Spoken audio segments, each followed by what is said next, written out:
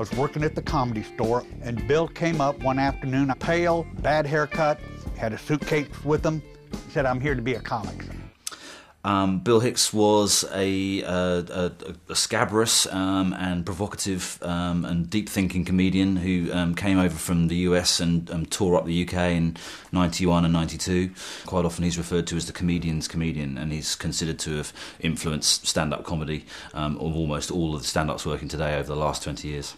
First of all, this needs to be said there never was a war. How can you say that, Bill?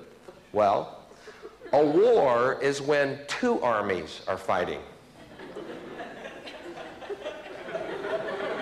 So you see, right there, I think we can all agree. Bill was always himself, and that's a larger version of who the guy was. But that's, I think, and that's why he's remained so timeless. Is people draw inspiration from that. I think that Bill was just innately born with that kind of questioning, probing kind of mind, um, and that's the kind of mind that reacts against being told what to do. Here's someone who, who absolutely believes in what they're saying, and you know they can't be bought or compromised. He never drunk before. And the bitterness came out for the first time. It just came pouring out. He was literally crawling around the stage with a full house of 200 people watching him. but he was still funny. People were still laughing the whole time. You know, we interviewed the 10 people that knew Bill best and had, you know, two weeks of just the most vivid recollections pouring out of people's minds.